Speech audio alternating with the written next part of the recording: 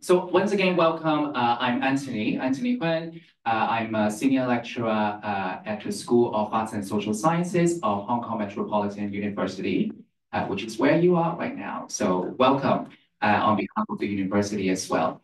Um, so we're really happy to have uh, an, a really good mix of us. Um, I think we have students and teachers from other universities, of course, our own students and, and, and, and staff members. Uh, we also have some secondary school teachers and students. So uh, we hope we're having a good time. And I assume this will allow us to have a, uh, an interesting and, and productive, uh, I shouldn't use the word productive, rewarding um, discussion um, towards, towards the second half. Um, so I'll just quickly talk to you about what this forum is about, introduce you to a really beautiful lineup of guests, uh, and and uh, we'll also, um, yeah, I'll, I'll, I'll let you know what will happen next. So basically, uh, I am a semi-poet myself. I, I, I, I, write poems in English, I publish a few, but I'm really uh, not as uh, published and I, I have to use established. I cannot think of another word. Cold. No, experienced. I'm not as experienced as those sitting next to me and the other two poets who are joining us uh, via Zoom. And by the way, they are uh, now based uh, in the UK. So we have this, again, good mix of poets and I um, curated uh, this uh, for, for good reasons because I think they kind of show us different characteristics of what I think uh, Hong Kong poetry might mean to us. And, and again, I'm not trying to be you know, overly conceptual or theoretical, but it's not a term that we can easily define, Hong Kong poetry in quotation marks. Uh, and think about this example. What if there's a poet who's born here, but for the rest of her life, she's based somewhere else? She's still writing about Hong Kong, maybe, and maybe she's publishing in Hong Kong, but do we consider her a Hong Kong poet? And also, these days, living in the digital age, we are publishing our works again in the digital world, and people from all around the world can access it.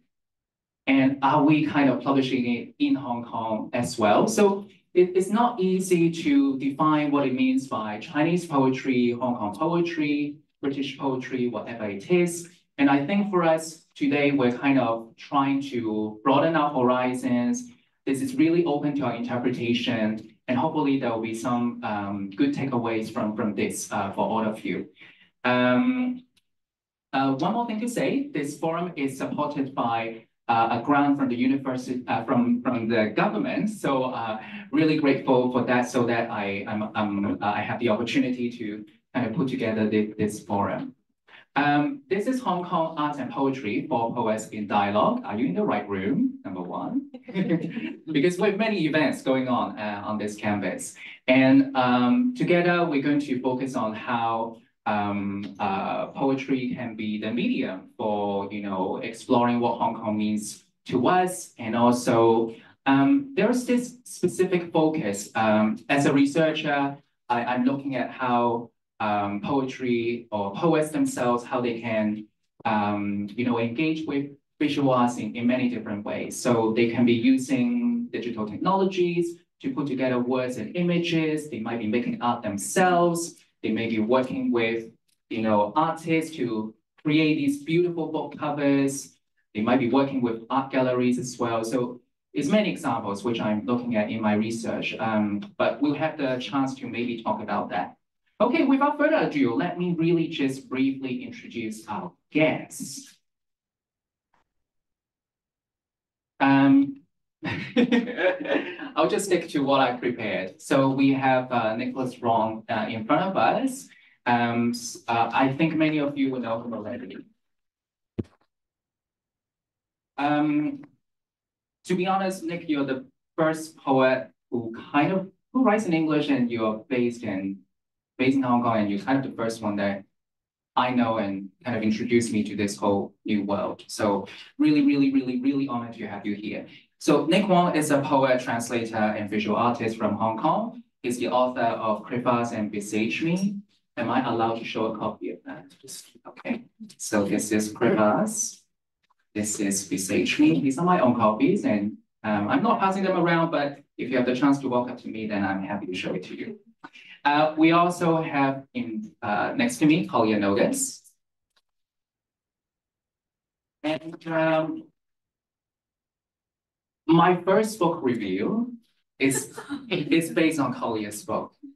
It's been a very, it's been a long time coming. And, um, and you know, these few years we've been, you, you know, really good friends. So I'm really, again, really grateful for, for everything. So Collier is assistant professor of creative writing at the Chinese University of Hong Kong. She writes at the intersection of digital and documentary poetics with an emphasis on making connections across decolonization and demilitarization movements in the US and in the Pacific.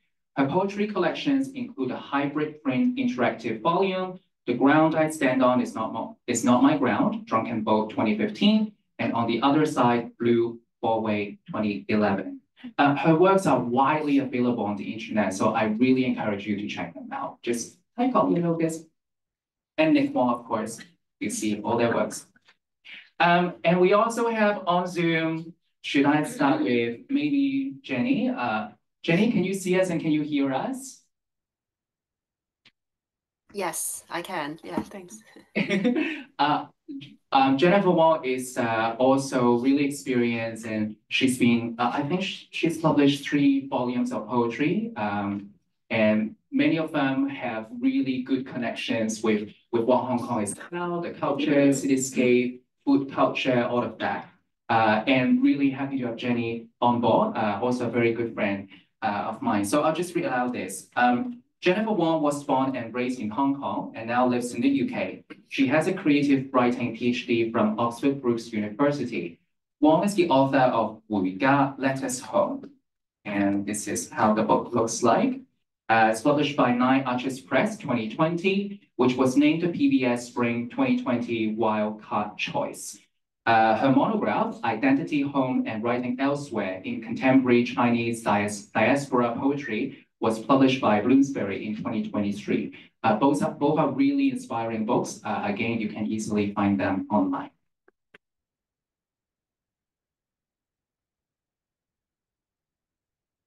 We also have Tim Tim. Tim Tim, are you enjoying your drink? I'm nervous. Don't call me out. Sipping tea. It's chamomile. It's oh, it's chamomile. Oh, that that's really calming. Um, Ting also a good friend of mine, and then uh, she for this project I'm working on, she already gave a workshop at a different place. So uh, really, really grateful to her. Um, Tim Tim is uh, an emerging and aspiring poet, and I'm really, really jealous jealous of her work. How how quick and quick and and quick witted and witty and all of that. Um, and let me just read her bio. Um, Tim Tim Cheng is a poet, poet from Hong Kong, currently based between Edinburgh and London. She's the author of Tapping at Glass, published by Verve in 2023. And uh, her forthcoming collection is The Tattoo Collector, to be published by Nine Arches Press in this year, actually. She also edits, translates, and writes lyrics and hosts a Cantonese poetry podcast uh, which is called Ying Si Hat Yi, and that's the name of it, tongue in cheek, I think. Um, so um, there you go. This is our beautiful lineup. Should we also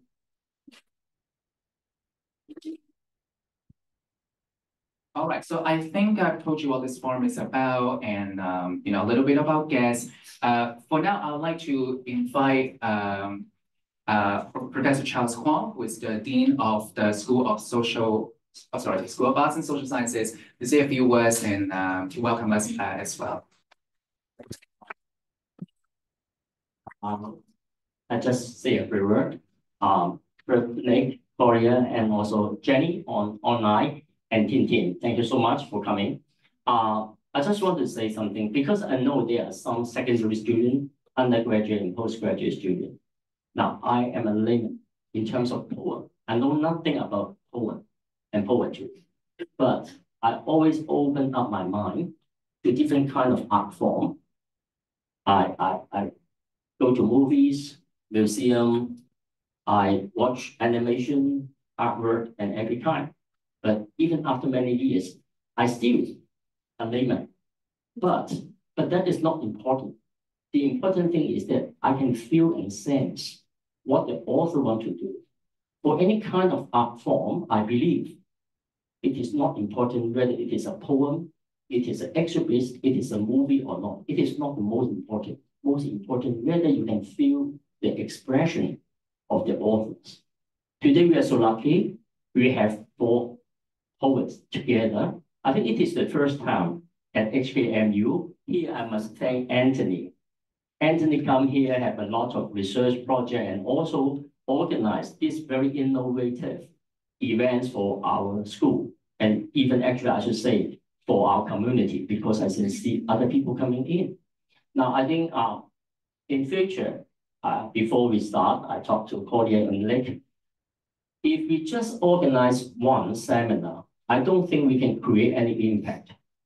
But if we can make it a series of poetry and poem, and we can, from the perspective of the authors, we can from the perspective of students or from all other people. I think this kind of series can be more impactful.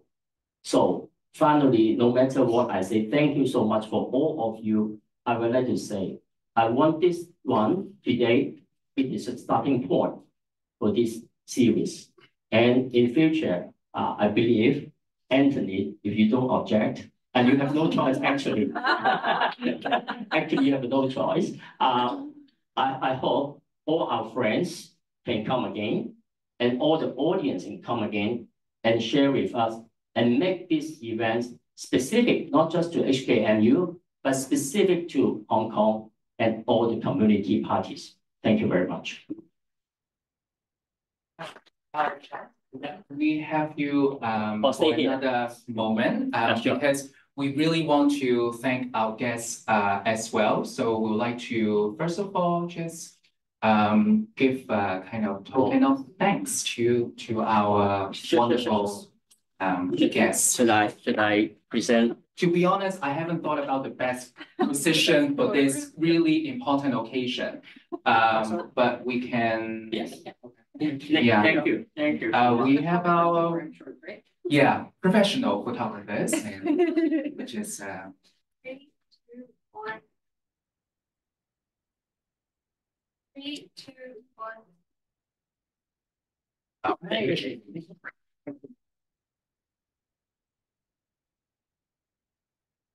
you so much, yeah. Three, two, one. Three, two, one. Thank you, thank you so much, thank you. uh, so we actually have like a group photo of us and then, Yeah. uh, unless you don't want me the photo. You can, or Yeah, Nick, you're thinking. You're, No, you- you're fine. he prefers doing it this way. Three, two, one, two. One. Three, two, one, cheers. Thank you, Thank you, thank you, thank you, thank you very much. Uh, can I say just two points? Number one, Tim Tim and Jenny, you haven't received our souvenir, but I promise I will send it to you. That is point number one. Number two, for the souvenir, it is a new souvenir because it is the thirty-five anniversary of this university.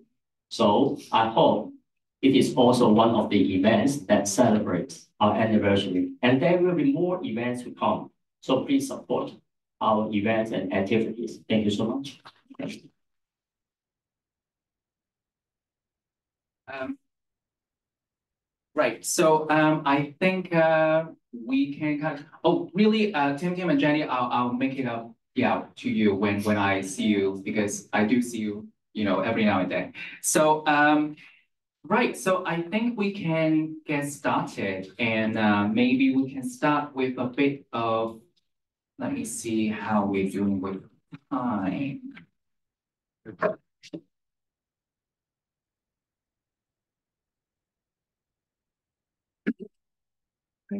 Yeah, I think we're good. I think we're good. So I think um.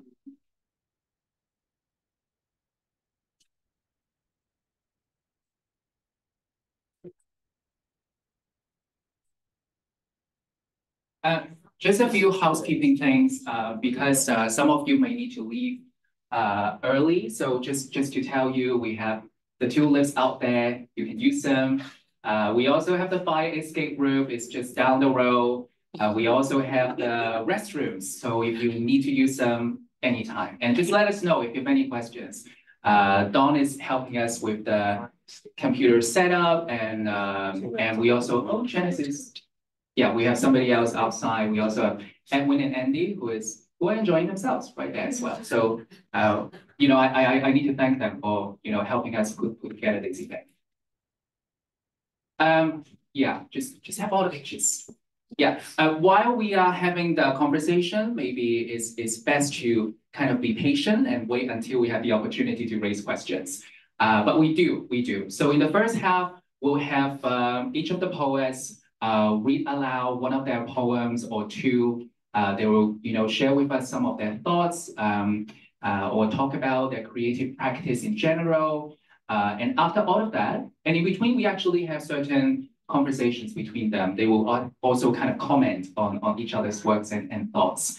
Uh, and then in, uh, in the last part of today, we'll have like a, free flowing discussion uh, among us. And we also, of course, welcome questions from the floor. Uh, so that's kind of the flow of, of the day. Uh, I don't think we need to um, uh, go on until seven. It's really, again, uh, having some kind of buffer time and mingling time. So, um, but that's more or less it. Oh, oh, sorry, Don, we have one more thing to say. Uh, we'll be taking pictures during the event. Uh, we'll also be, uh, you can see we're recording this, but uh, your face is basically not captured, it's only us.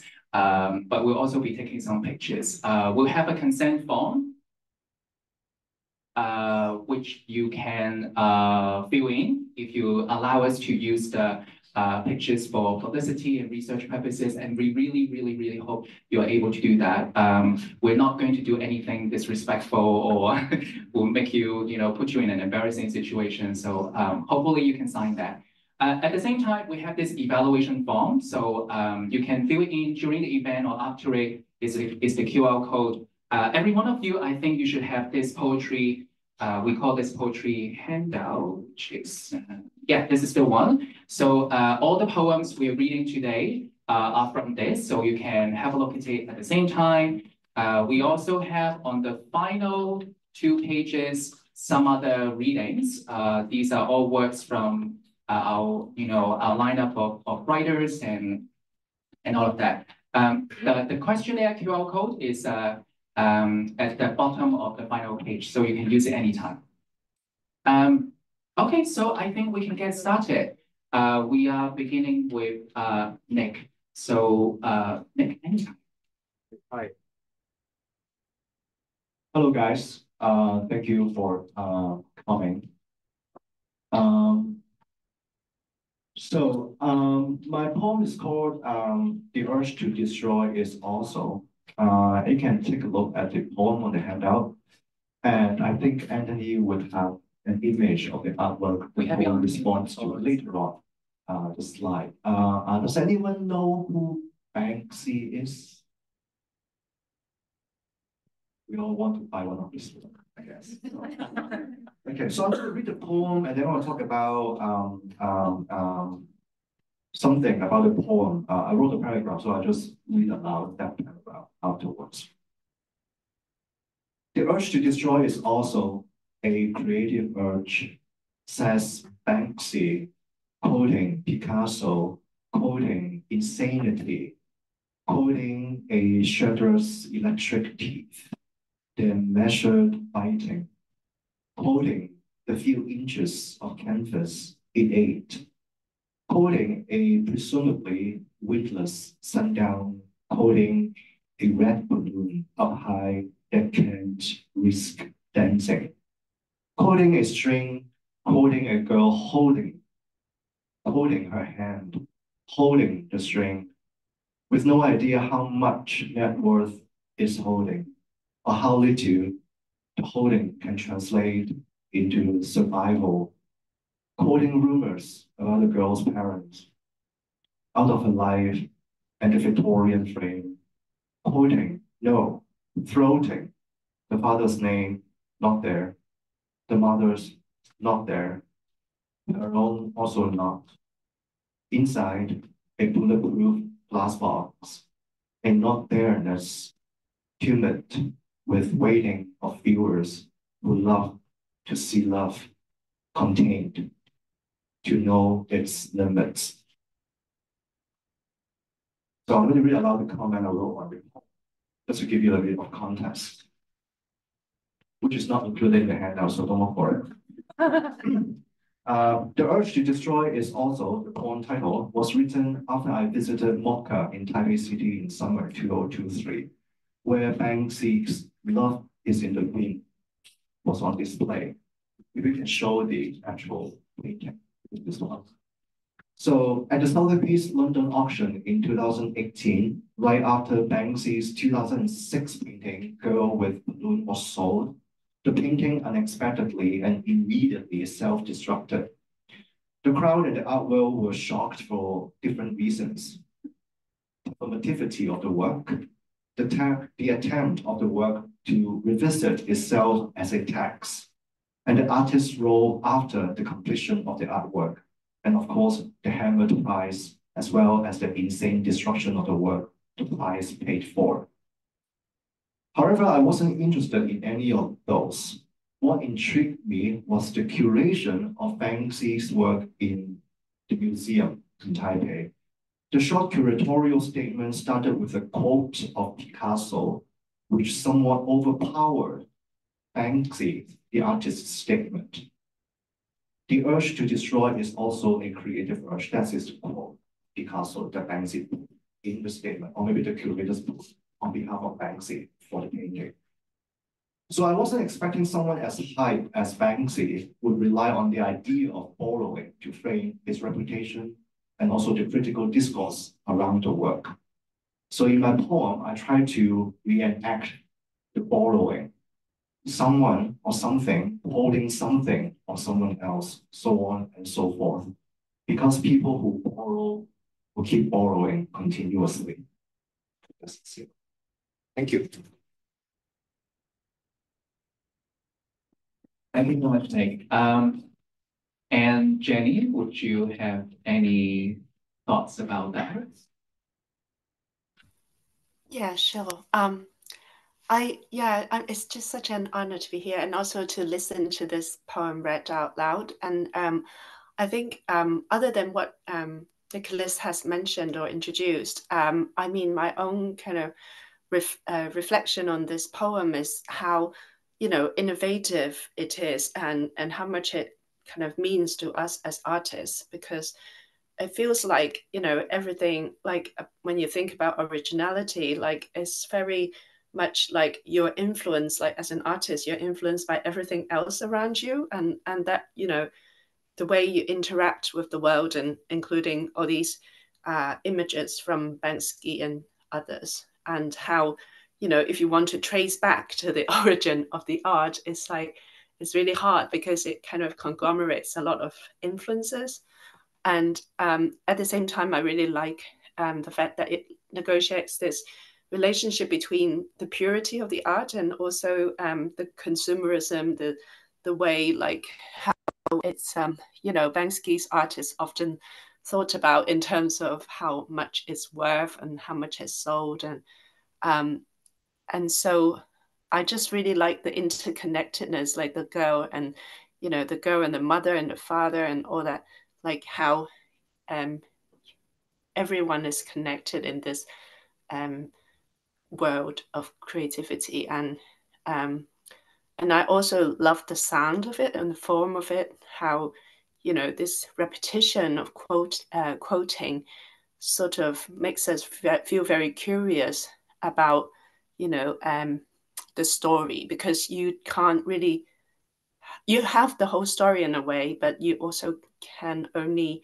you know know so much of it through um, another person um, and i love the title i have to say the urge to destroy is also you know and then it runs on um, so that's mainly my reflection and then ending with to know its limits like how you know um, that sort of idea of the limits of love, the limits of the art as a form, um, as a product, as a consumer product as well.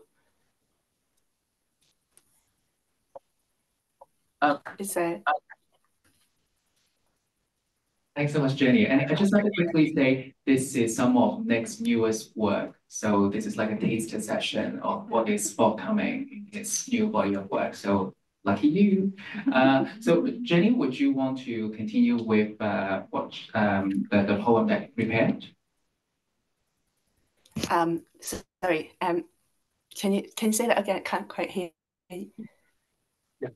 She couldn't hear that. Oh, right, sorry. Uh, uh, Jenny, would you want to, uh, you know, talk about the poem that you prepared? Oh, I see. Sorry.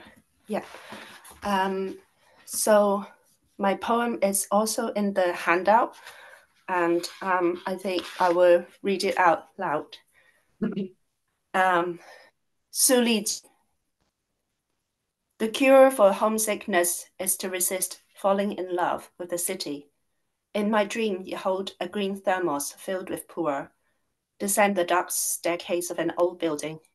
Your tall colored qipao casts a long shadow, a story.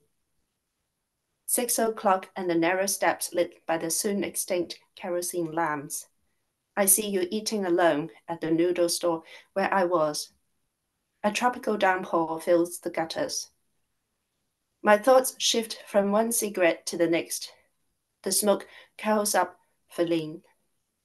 In hotel room 2046, this is what I'll write. Crumble up and rewrite.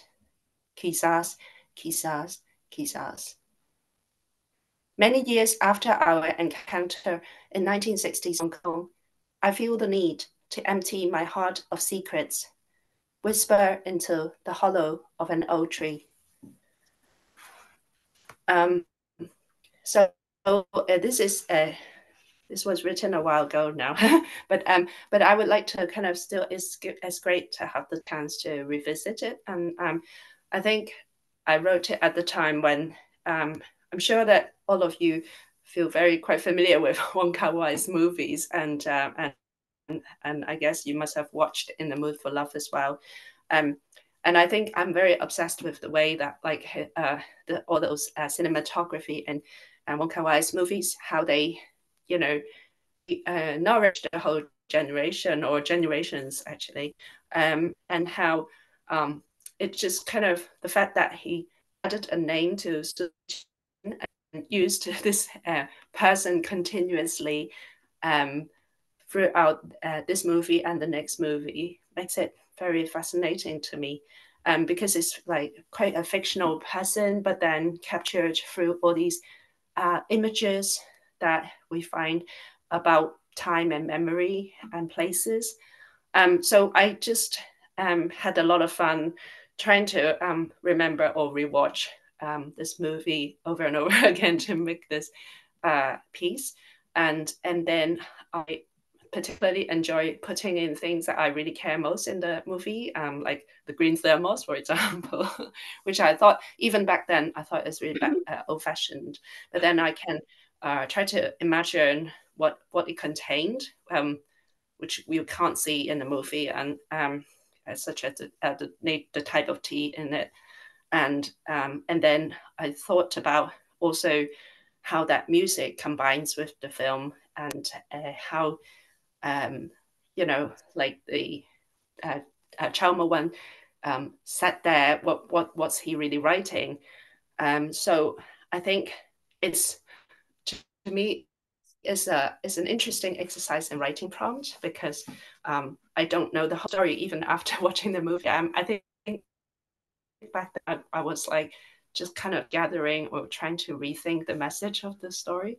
Um, and I think it's through the, this poem writing exercise that I sort of um, kind of interpret the poem for myself. Um, so I really hope that you enjoyed that.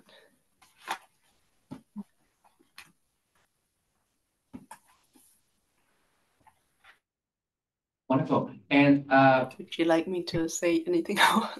um, yeah, I think just just to say to the audience, we also have another poem by Jenny, uh, and of course for Nick, there's another poem that you can read in your spare time.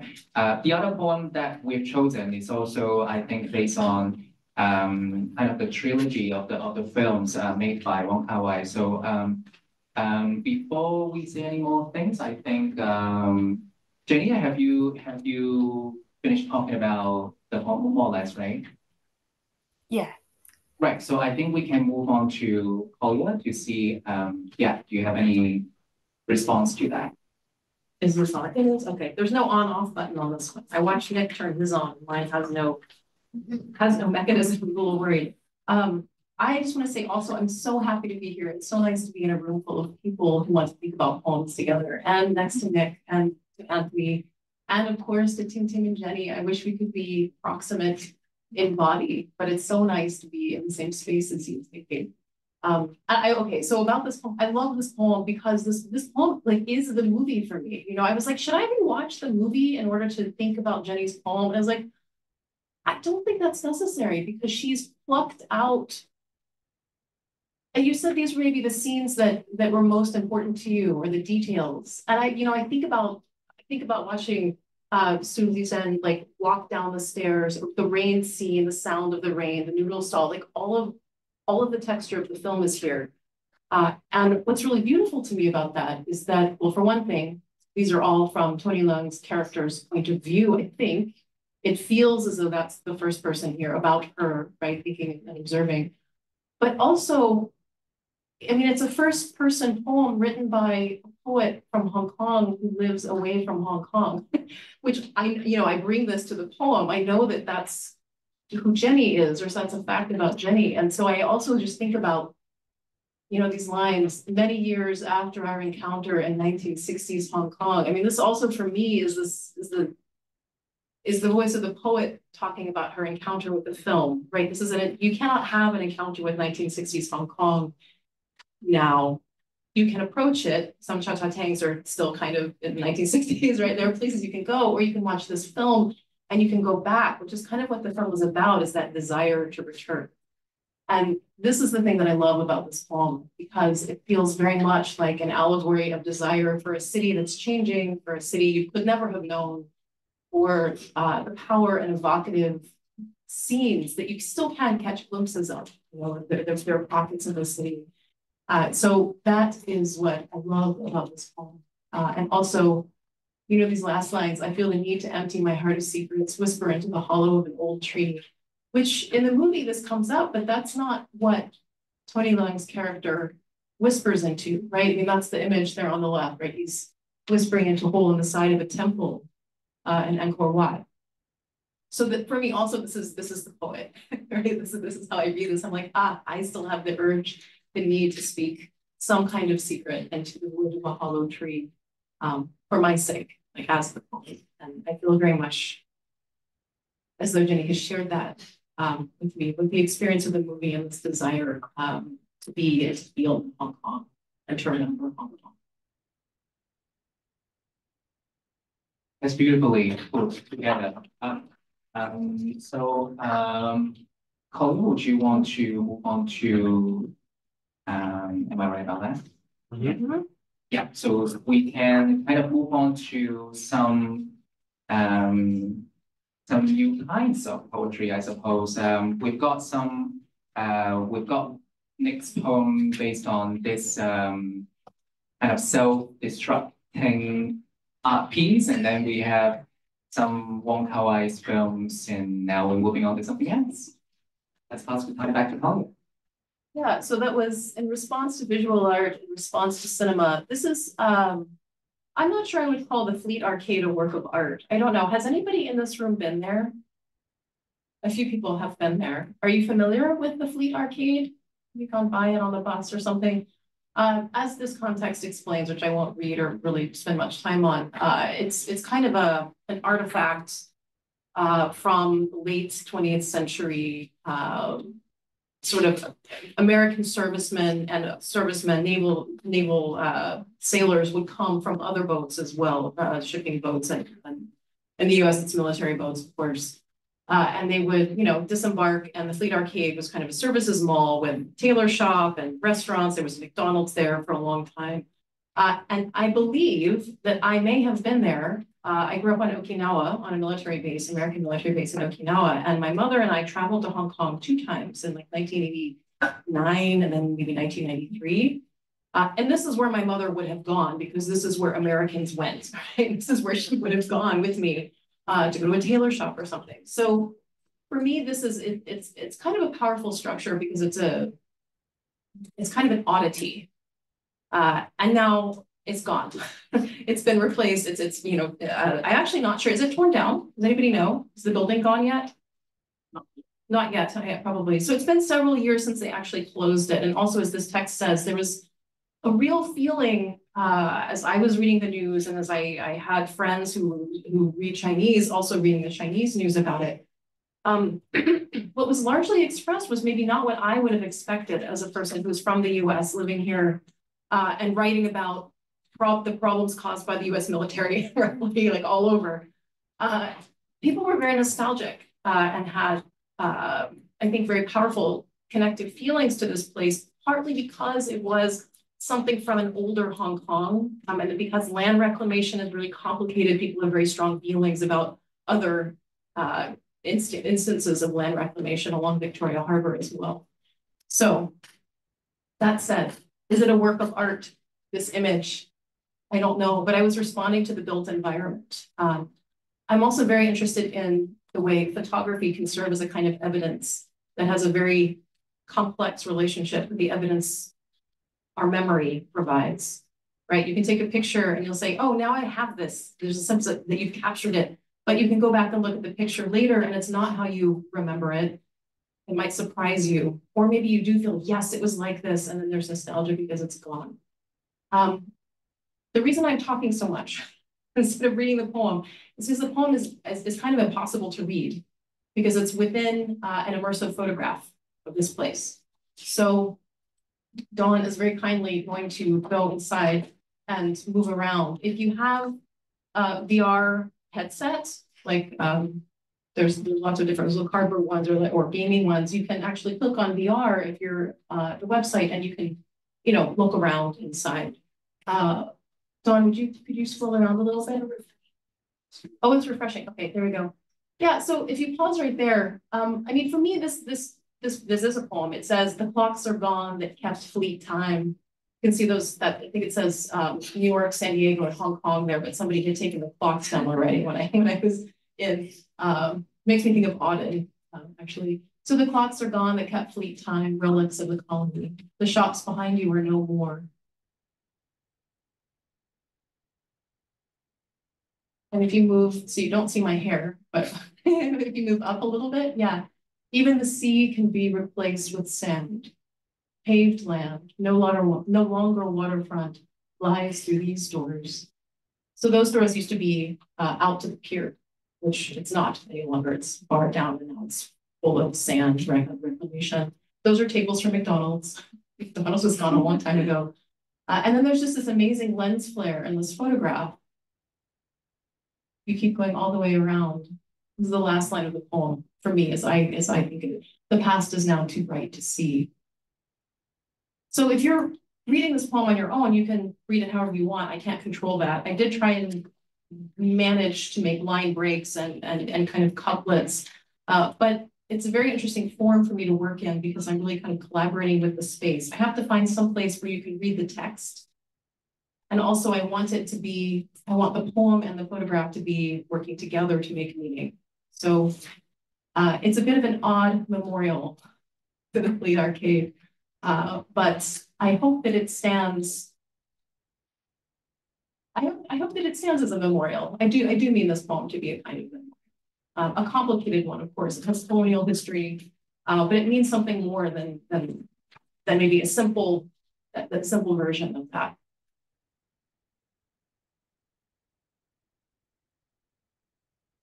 Right. I, I guess we are kind of all inspired by by all this um, you know, beautifully put together work. And, and I think Collier, you kind of mentioned one thing that I never thought about, which is how you really need to find the find the space where you can actually put in words.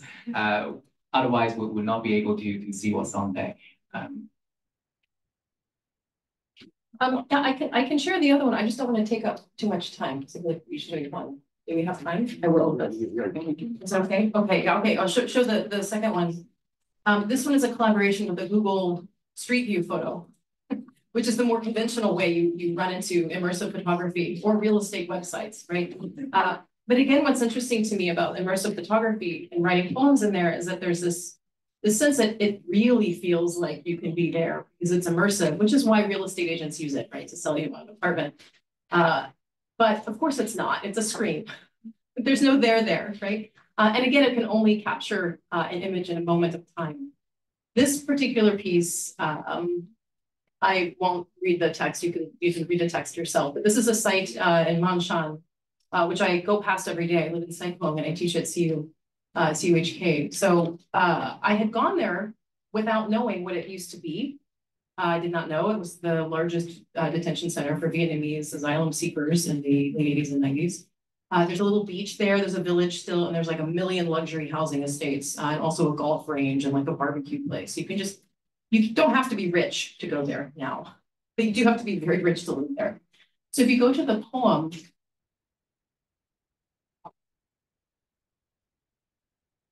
maybe go to the poem and refresh it. Yeah, thank you.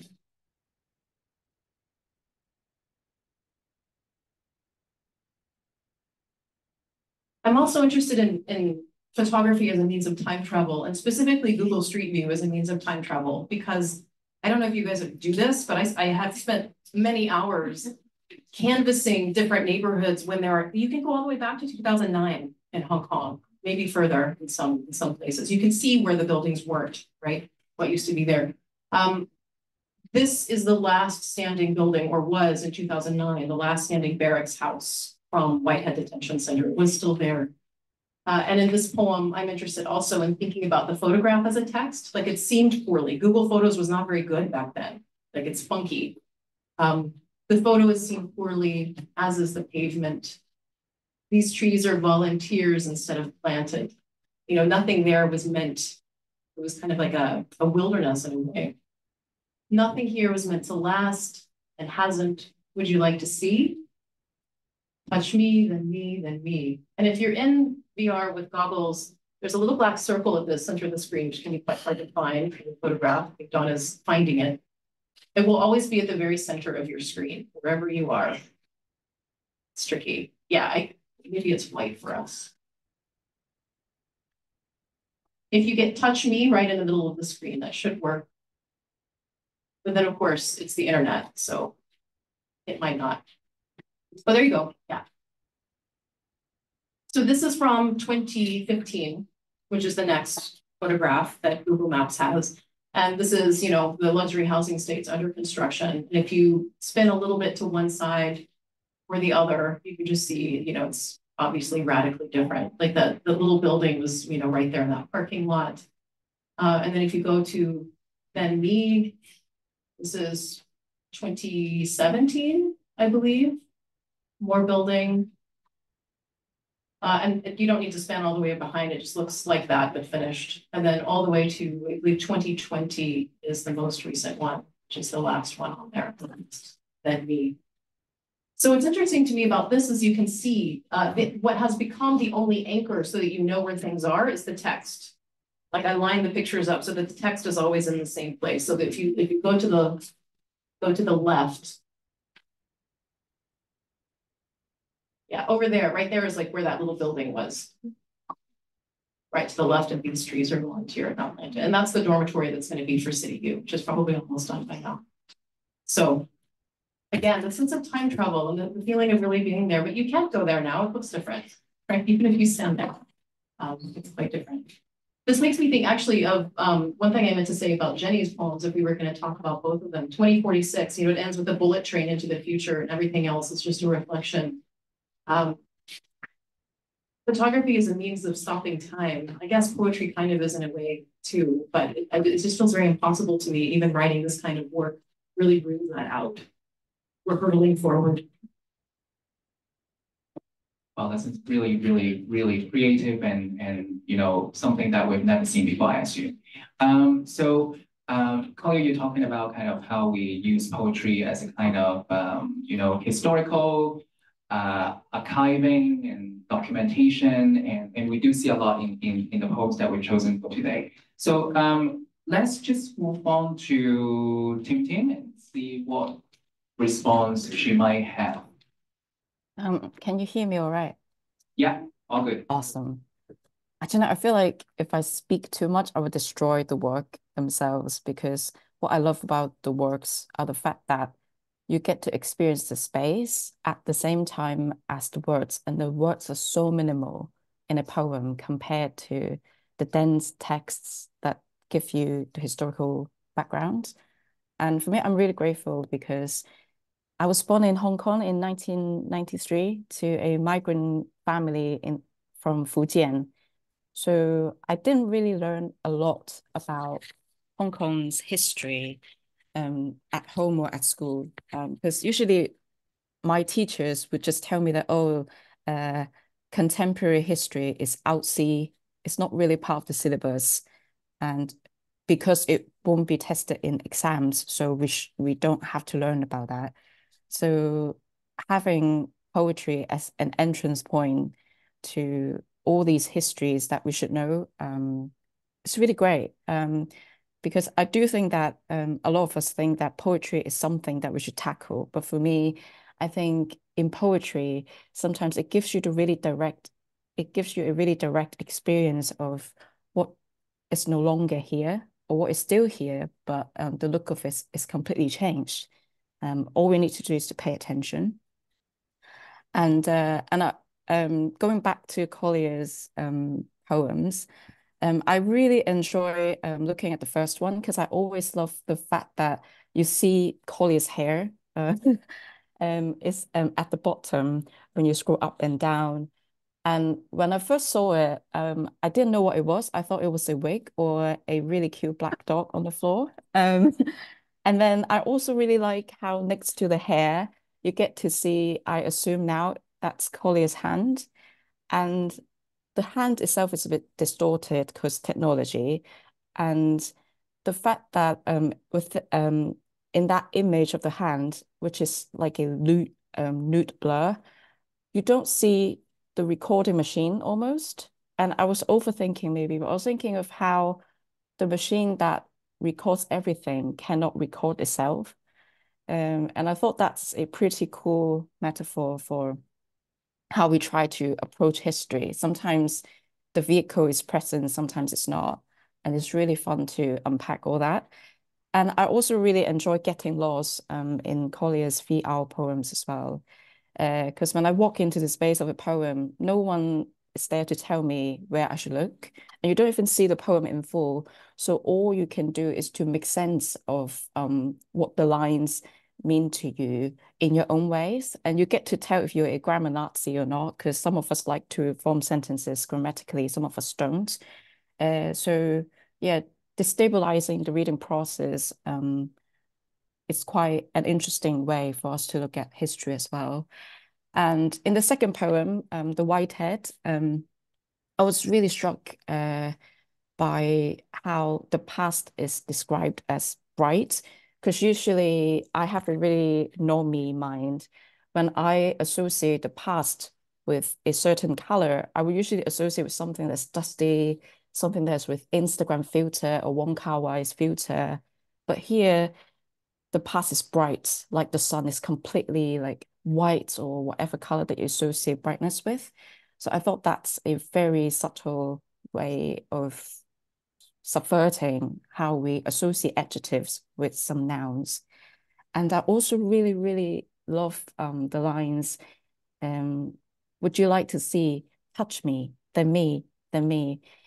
I don't know who the me is. Is the me the poem, the button, or the changing landscape? And for something that is so unknown, unsure, to beg somebody to touch them It's almost like, hey, come to know me. I'm here for you. Um, and the fact that we kind of need to use our fingertips to activate um, the changing landscapes, for me, that's really powerful because I don't know, before poetry, I never remember that I actually had a body and home. and to rem be reminded of those things and to be reminded of the fact that home could mean so many different things across time and space and to different people. The home in our mind may not be the same as the person who's sitting next to you. And I thought that's just so fun. Um, it really opens up a lot of stories for me. Yeah.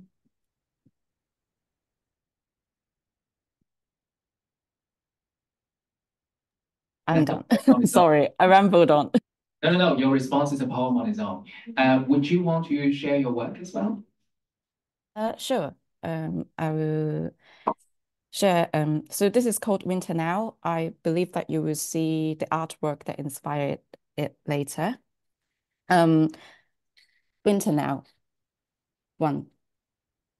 It's always 6 a.m. they come at you, heavy with the new dawn done. Searchlight breaks into households to stand in for the unabashed sun. It's time to cherry pick Hong Kong, every ungodly overspill. The rest of us never wake up anew and useless, always superstitious about the arrival of words to bring home who's gone, the acute, quiet baked in our daily bread, our bite-sized offering. Two, sometimes we enter a room and forget why we're here. Blanked out a few seconds, we are sent messages down a corridor of contacts, not quite returning to the original room. I couldn't bring myself to dissuade you from the birth of a hero, nor could I bring myself to dispute some notion of life goes on. This is not the hour for costless nicety. This is the hour to make room for the honesty of palms tucking out of a sleepless blanket to breathe on a frozen face. Uh, I just realized that I changed a word in my poem. Um, I don't know why I did that. Um, uh, so I wrote this poem. Serendipity. Yeah, I, I wrote this. Yeah, we're in the same room, so I guess that's yeah how how I said here instead of there. Um, I wrote this poem in 2020 uh, before I decided to um, pursue a creative writing master's in the UK.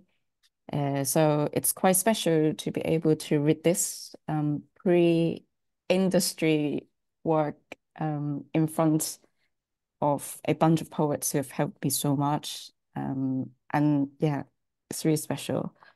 Um, uh, I'm addicted to information. So I think I spend maybe six hours a day online just to read news, to feel connected. Because I don't know why um, I've, yeah, I think knowledge could connect us and I, yeah, and that connection could sometimes be a bit strange. So I guess I was expressing that frustration as well. And the second thing that I'm obsessed with um, are sculptures. Uh, so if can we see the photo of that sculpture It's a bit? Yeah, so this is a sculpture by Dong Mingqing. Um, I really like the fact that it's made with wood, but it looks so soft.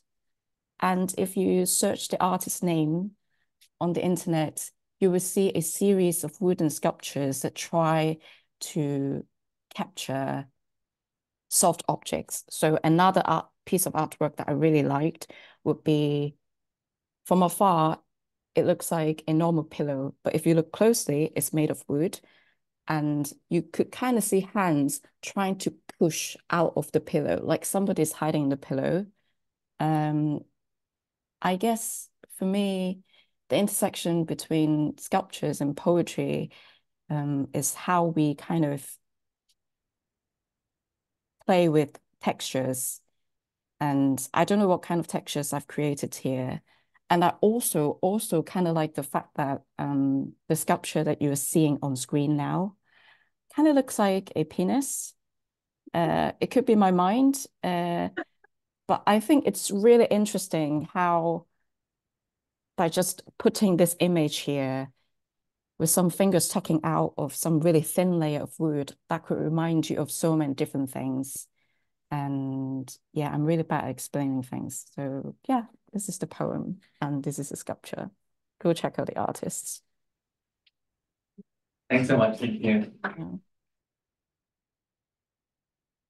Um, so yeah, we, we do have a good range of, of, um, work, um, being responded to or how these poems are connected to. So, uh, Nick, would you have any response to that?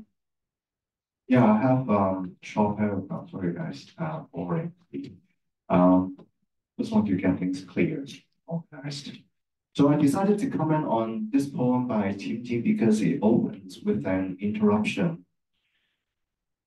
And quote, it's always six AM, they come at you, searchlight breaks into households to stand in for the unabashed sun, unquote. The reason for the six AM visit is unclear, but it doesn't matter. I like the idea of intervention and outsiders trespassing a private household space. And after I finished reading the first section, I went online to look for, you know, the image of the sculpture that Tim uh, was trying to write after all about. And I was surprised that it was a sculpture made of camphor wood. It felt smooth, but it wasn't a pleasant kind of smooth because the figure of the sculpture was obviously hiding the face with the hands extending from quote unquote a sleepless blanket. The body of the figure and the blanket merged as one. The figure was hiding from something. His elbows or knees beneath the blanket could be seen. The sculpture felt weighty and it was round and wanted to be grounded for security. It urged the viewers to feel the anxiety and the unsettling presence that is frozen in time and in action. The poem wants that, uh, well, nor could I bring myself to dispute some notion of life goes on, and this is not the hour for costless nicety. Unquote. I wonder, what's the cost for a life that goes on? The life of a figure in a sculpture does not go on. Neither does the neither does the death of the speaker or the collective we in the poem. Time is what we use to measure the progression of life.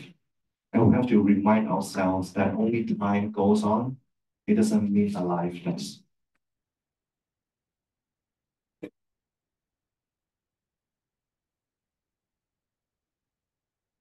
Another poem on its own.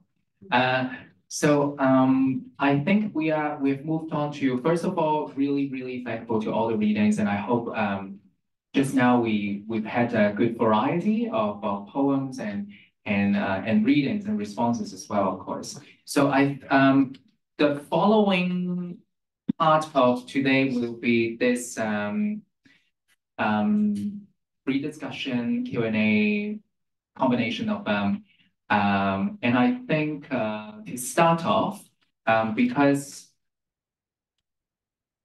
what I can, I believe all these poems that we've looked at and, and listened to today are kind of anchored in, in certain things. So even though in some of the poems, the subject matter can be, you know, it's not easy for us to grasp it um, at first glance, but all of them are anchored in something in the sense that let's say Nick's poem, there's this Banksy's work, and of course there are the quotes uh, being used. Uh, Jenny's poem, of course, there's uh, Wong Kar Wai's films, and even Collier's works. They are really um, kind of physically anchored. You have this pivot, and you have to kind of look at, even though you have the freedom to kind of, you know, read the poem your way, it is still kind of anchored in, in, in that central point. And uh, and of course, for Tim Tim's work, there is this uh, sculpture.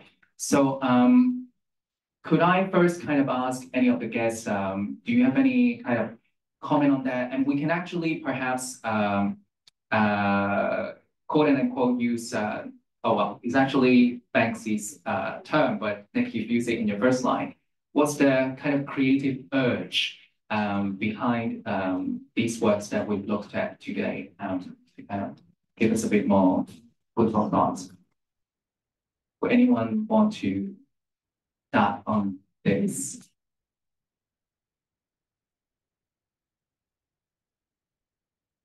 Creative urge. The creative urge or um, uh, you, you've kind of talked Oh, sure. You kind of talked about that um uh already. It's it's more about maybe the the quote and the caption and all that.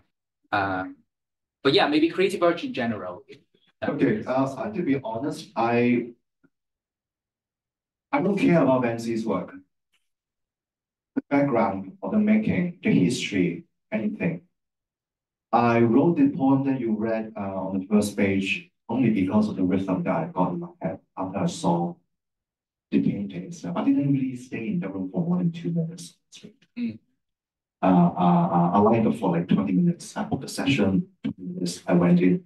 So it was a nice room, and then, yes, this is the work, and then, oh, okay, done. But then I had this idea, uh, this rhythm in my head, uh, the urge to destroy is also a creative urge, sex, fantasy, holding, holding, holding. I think I let it out because there's a rhythm in that. And And we can really Yeah. get this rhythm from from the poem. Thank you. Just not only because I keep saying the same thing. I mean, But also the sounds of that, because I really get that Shredder's sound. And of course, it's the, the use of the word quoting, quoting, quoting. I really get that, I like the K sound. the rhythm and, yeah, Yeah. the K sound basically. So, um, Yeah, yeah, so I, I, I, I, I, I, the creative urge is basically that. Uh, rather than, you know, giving you the context of the work, you know, justifying the narrative in the painting, I'm not that interested in that. Uh, uh, so this is the creative urge of my home. right. Yeah. Right. So maybe, maybe we can smoothly, uh, kind of, uh, re, uh, go back to Jenny's work because it's, it's very different. We, we kind, and Jenny's and, and Tim Tim as well, because, um, um, both of them have subtitles. Both of them, right from the beginning, are telling us that this is a piece of work that's based on something else.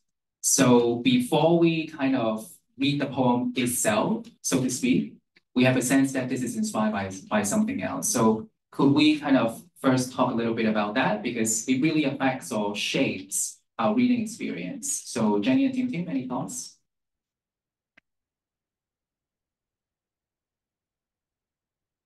Um, for me, I just want to honor the um the artist um by putting uh, the artist's name and name of the artwork there because I did use the image, and I I do struggle with how much I could translate from a piece of artwork by describing it. Am I stealing ideas from the artist? Because I do think artists are poets without words, um, in so many ways. Um, so yeah, for me that's pragmatic. I don't want to plagiarize anyone. Yeah. Jenny? Um, yes, I think, um, yeah, I, I, I was thinking that when I wrote this poem, other than just relying on the film or kind of re-experiencing the film as a way of helping to um, bring out what I wanted to write about, it's also to do with like playing with I because um, obviously in the movie, like it's Chow Mo-wan and and um, in, in the movie is also talking about um, the first person, you know, from his perspective, how how he sees things. Um, but you know, in the poem, it's the I is like, is it is it me or is it like someone else or is it just a completely fictional speaker? Um, so I thought that's quite interesting to to play with as a writer, and Su Li-zhen as well being very fictional, like um, or maybe um, part of it is not fictional because it's in the movie as well that you can watch. So I just really like the fact that we can contemplate a piece like that. Um, Right. Um, I think in the case of Collier, it's, it's very different, obviously. It's not an existing uh, artwork or whatever being referred to. And um, you've mentioned how at least Fleet Arcade may be a kind of memorial. So maybe it's kind of a role of historian that you are playing in certain sense. And of course, it's not historian in the strictest sense because uh, there's this personal eye and, and all of that. So um, are you consciously trying to play the role of a historian or custodian and kind of think about what we can do to preserve certain overlooked parts of Kong history or Um.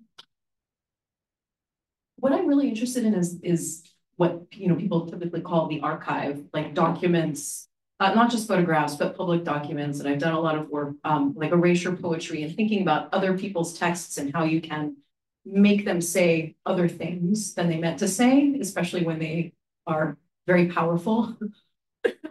and you feel you were not. How can you, how can you make them say something else? And so I I do have a historical impulse, but I, I'm very interested in the sorts of history that are not available. Uh, as Tim Tim was saying, you know, like we don't teach contemporary Hong Kong history because it's not on the exam, right? this is like those histories that are not on the exam are very interesting to me. And when I find something that feels surprising and much more complex than I, I mean, everything is more complex than I think it is, right? Like you approach something, you only see one facet of it. Uh, but when I when I learn more about it, something like the Fleet Arcade and, and what it meant to people, um, something about like Whitehead and what it might be to be a City U student living on that ground and having no idea. Uh, I don't think City U is going to advertise, right? It's, it's not going to be the Whitehead Detention Center dormitory. Uh, there seems to me something that needs remediating there. Uh, it's a different impulse, I think, with Fleet Arcade. That one I just felt um, it was very meaningful to me to see other people's responses to it. And I wanted to hold on to that, uh, to document it, I guess, and have to add that to the archive. And following on that, uh, I'll, I'll give the chance to you to ask questions. I just want to ask the last one before we move on to that. Um, because I think for all these works that I'm looking at again and again, uh, I think the the role of a creator or artist is quite is quite um, there, quite explicit, how in all these works, uh, we see the role of, um, of an artist or writer, even in, in Jenny's work, you're talking about that's what I'll write, crumple up and rewrite. So we have this sense of the writer or the artist um, it's, it's not just, um, you know, like um, fictional persona. We, we kind of immediately kind of associate what we see on the page with with uh, with the poets themselves. So um, is it something that you intentionally kind of uh, try to do, or is it how you can also talk about other works of yours, um, the, the voice of yours uh, and and the self that you that of course you uh, you are um, the, the connections between them. Do you think about that a lot when you write? because I think this is something that I can see in, in these pieces of work. Uh, it's not only kind of um, a viewer of, of something out there, it's also me as, as, as an artist um, of, of different kind.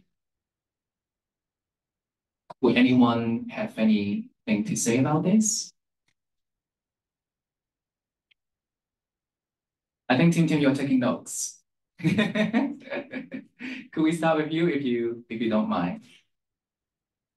Or you need more This time? is when the teacher found out your trick. You're jotting notes to avoid eye contact. Um, and then they catch you. I'm sorry, um, we all teachers here, right? Yeah, I think uh, it's a really big topic, but uh, I do think people label what I write as identity poetry, and some people obviously do not like that. Um, um, because they those people's arguments would be um, that could undermine the craft of your poetry because this message is louder than your voice. And when I see you telling me your life story, how can I criticize you? Um, um, that makes the critics look bad. Uh, but for me, I, I think I'm still at the stage where I'm just writing to figure things out. Uh, I know writers who are good at constructing things uh, I can't, I'm just writing my way out of the mess that is happening. Um, and I guess that's how the voice is trying to um, form itself. And I have this really strange habit of um, reciting my own poems when I'm nervous at night. Um, I would just recite them to myself again and again. So it's like First of all, that means you have very good memory. I can never remember my own poems. Can, can you guys? yeah, yeah, yeah. I've been trying to remember my own work because I was, I don't know, recently it came to me that what if one day uh, I'm on a desert island, I'm locked up and I don't have any books with me. and what, what can I do? So I've been trying to remember my own work and other people's work too. So Collier's work are really great. Um, that like those are displayed today. Like I can remember those. Nick Nick's work is gonna take me a while to remember, but today that, that was cool because the quoting and throating and holding are creating a great rhythm. Yeah, and I don't know, and I think there is this presumption of identity uh, identity politics poetry as well. So I've never any intention. I've never intentionally watched Wong Kar Wai's movies, and I think, yeah, um, and I think, yeah, I I don't know. I guess when I write things too, I try to break some presumption a little bit. Like for me, like I would, I don't know. I kind of avoid influences like Wong Kar Wai at this point, but I know I shouldn't be because that's stupid. Because how much can you avoid, um, your formative years? So yeah. Others, or you can really ask questions to each other as well. Um, this is this is the the time. Can can I quickly respond to your? Of your course. Question, um, um, the point of view, I think, um, well, my poem is clearly the point of view of the viewer of the painting. So it's a typical point of view adopted uh, when the poet writes about or writes about or after an artwork, right? Ekphrasis. How come we never bring up this term today? I Because I sent an email to my students saying, this term is likely, you know, mentioned by someone. there's a slide, but there's no time for that. But we will come back to it. Ekphrasis, okay. So, um, it is simple and common, but I find, um, writing ekphrasis useful for my creative writing class, which is not obviously, uh, offered every semester or year. Um, and when it happens, it's already in sem two, which coincides with Art Basel and Art Central. Then I will usually ask students to go to an art exhibition and go see paintings, installation, sound work for two hours. Now, you know, it makes you look good, right? It's, it's, it's, it's Instagrammable. And then think about ways to write about the artwork. Then I think this is a very good training for them. I usually ask them to shift the perspective. I mean, depends on what paintings you see. I mean, if you have, I don't know how many of you are familiar with your Tong Lung uh, paintings, local painters' work, uh, your Tong Lung.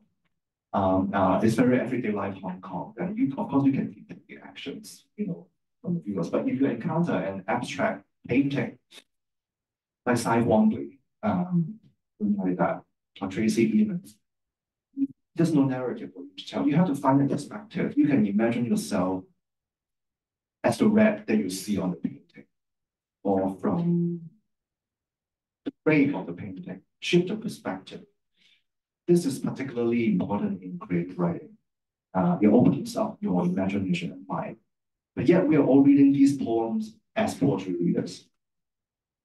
The nature of approaching the poem is entirely different.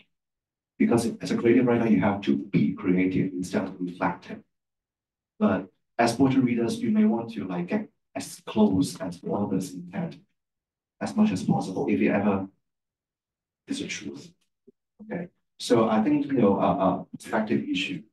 Um, for me, I think it's more difficult for training students writing skills and write something different, you know, persona.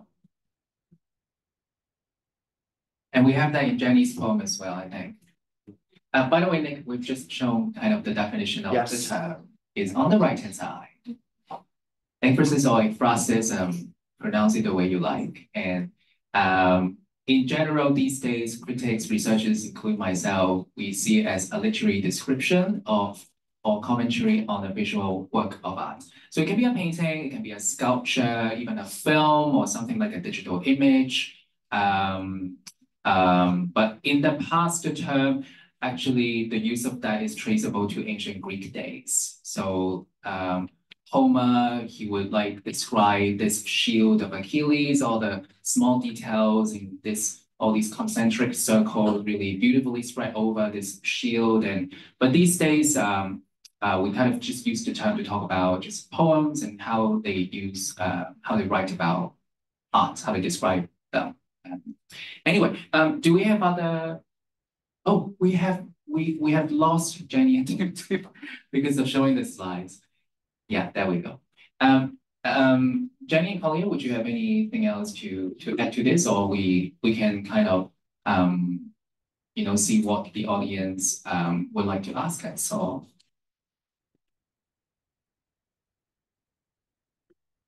Yeah, I think, I think, uh, do we have any questions from, from the floor?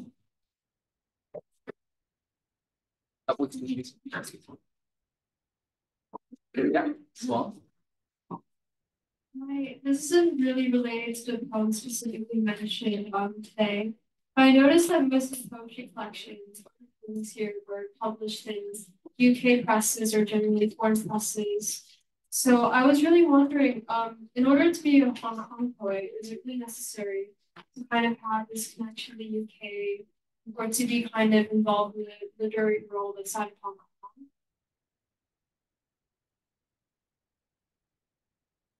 I think that's the elephant in the room, isn't it? Um, this is also something, well, I shouldn't be, should I start or? We should start with those who are based in the UK, or I don't know. For the ball to come. Okay, the ball is in your court, Jenny and Tim Tim. Would you have any comment on that? No, that's fine. Um, sorry, um, can you repeat the question? Just like, is it so? Is it basically like, do- do do they need to um, participate in in the literary scene or or literary scene in the UK? I don't quite hear. The No, whole- sorry, I was just wondering because um I remember during our poetry course, like we had to talk with um Nine Arches Press. So I was just wondering with all these kind of UK based um poetry presses and collections, I was just wondering if to be a Hong Kong poet, it's really necessary to have this kind of connection with the UK and that you're able to traverse yourself in these um British literary circles and to have that kind of means of um traveling to the UK. Um and like citizenship, of course. So I was wondering really if to be like a successful Hong Kong poet or writer generally, um if you don't speak Cantonese, that's necessary to have this kind of um British connection. That makes sense? Um, yeah, well, I guess it's um, you know, I don't know. I'm sure Tim Tim and and the others will men uh, you know, talk about it further. But um, just like from my own personal circumstance, I think it's more like an unplanned, uh, you know, event that I'm here, and um, and I think it's like you know, basically after finishing my studies, I I continue to be in the UK, and and I thought I'm go- I I always thought that I'm gonna come back to Hong Kong Hong Kong, but it's you know it's a continuous, you know, like uh, once you decided to stay, you you wanted to you know um, build something, you wanted to you know uh, immerse yourself and learn more about you know poetry and art and other things. So but I think it's not, there's nothing that is necessary for an artist to feel inspired or to engage or to write because the practice is very global nowadays. And I don't really feel that, you know, they have to, also, they don't have to speak a certain language whatsoever, you know. Um, and uh, although having multilingual capacity is always a very inspiring thing, I think. Um, and I, I feel that, like, although being in the UK has influenced my work in certain ways, but it doesn't, you know, I also feel equally, actually, even more inspired when I was in Hong Kong because I recently came back to Hong Kong for a while uh, to visit my family. And I think, like, uh, there's something about, you know, being in the city where I was born that I, I feel like tremendously energetic and ha- happy, and in a way, even in in in certain ways anyway. But um, maybe it's the influence of people you know. Um, and i think the creativity for me is in the mind but it's a reaction or interaction with the place uh, or places so I, I don't know if i explain myself very well but um but i hope that the other speakers can you know shed light on this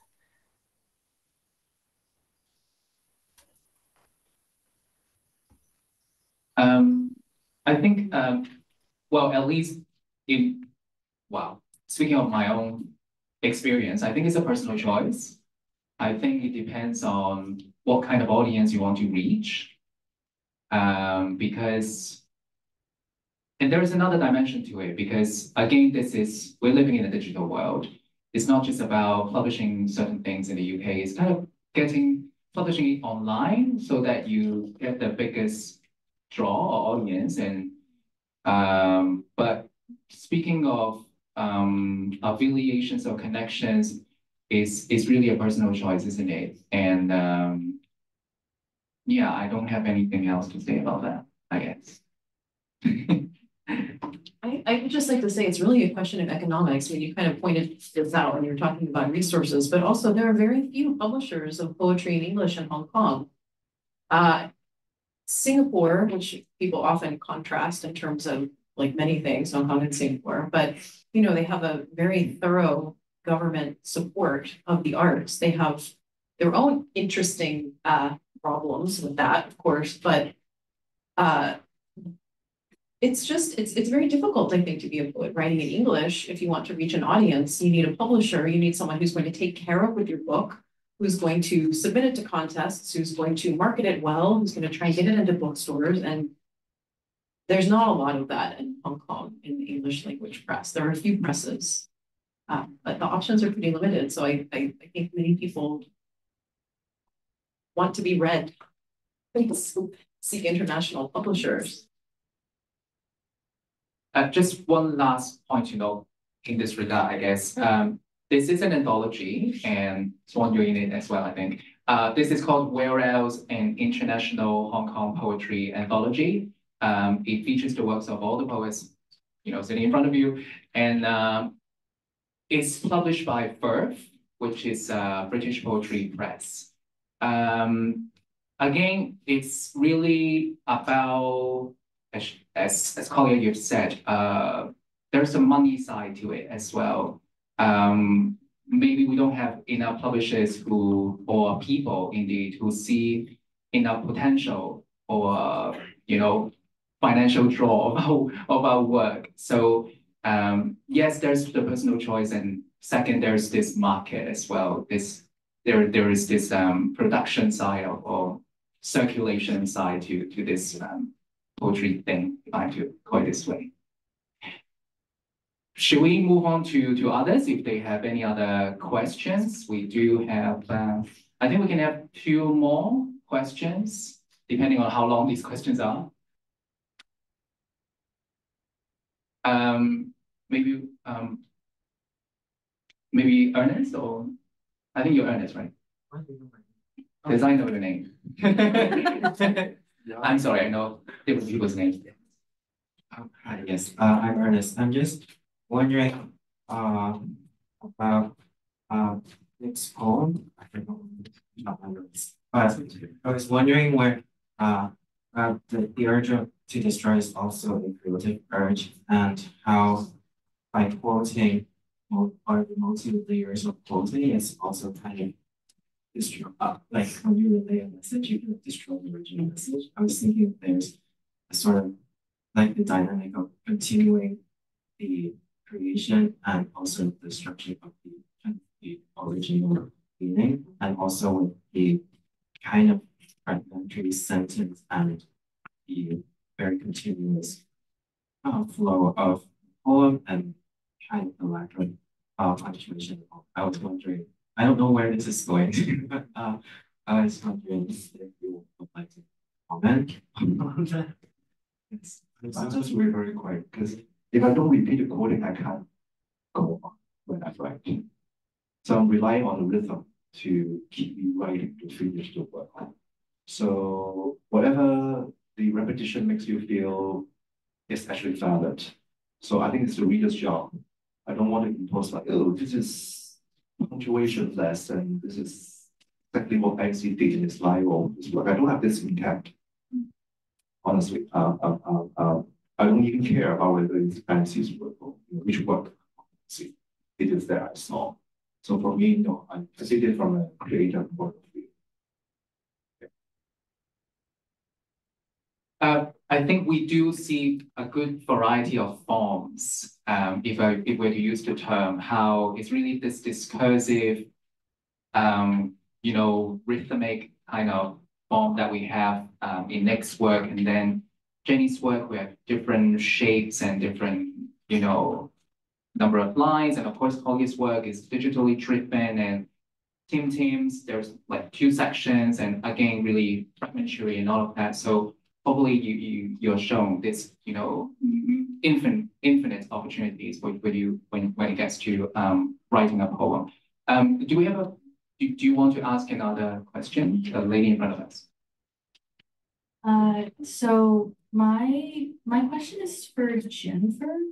Um, so uh, we didn't get to hear you talk about your second poem, but they're both about um Wong Kar Wai's work and like um, I can tell from reading them, at least what I'm sensing is that you seem to have a really like deep connection with his work. But um, I found it really interesting that you chose instead of writing a poem from your perspective about how you feel about the movies, you chose to write from the perspective of like it from inside the movies almost. Like you chose to write about it from the characters and like that's almost an expression of like that's almost an even even deeper uh expression of that connection to those movies and I um guess I was just wondering about like your thought process behind that like what made you go for that approach as opposed to writing you know from your perspective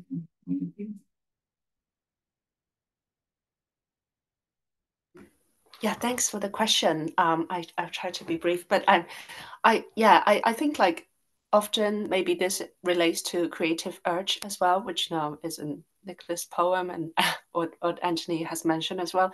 I think for me, um, uh, being the audience of a film um, sometimes um, almost makes me feel like I want to walk into the film and um, be part of it. And I think maybe that's from the creative urge of, you know, like admiring a piece of uh, art and wanting to be part of it and how to do this is like to turn yourself into you know like one of the characters and and you know explore what they feel.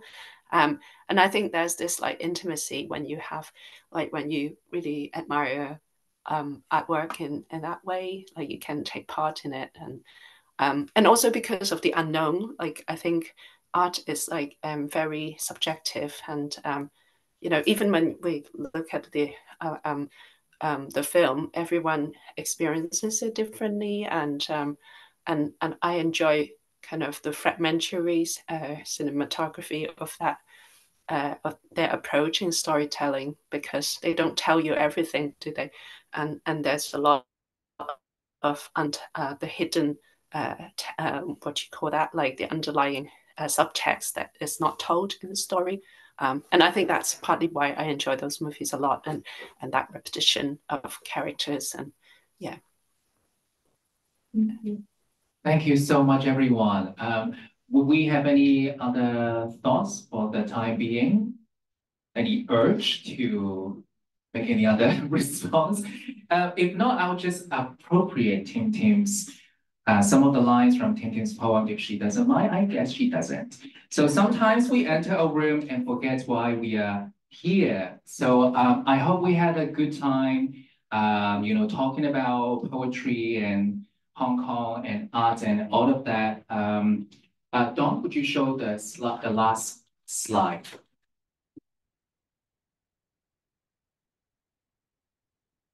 Yeah, I think the last, oh yeah, the second last. Would you do it full screen? Yeah, so we have other works that you can look at in uh, if you have time. And the last slide, no. Uh, we also would again express our deepest gratitude to um, um, oh no, I'm sorry, uh, we, we've lost the guests. So can we maybe share screen and then we can see them at the same time. I don't want them to feel ignored. Yeah, sorry for the hiccup. I think we're doing, yeah, we're doing fine. All right. So um, once again, thanks so much to Nick, uh, Collier, and Jenny, and Tim Tim. Um, it's been a long day for them. I'm sure they have, you know, other things going on. And I think Nick, you you just finished a class actually. That's impressive. You're here and um, so others, I'm sure you, you, you had a long day as well. So thank you so much for, for being here.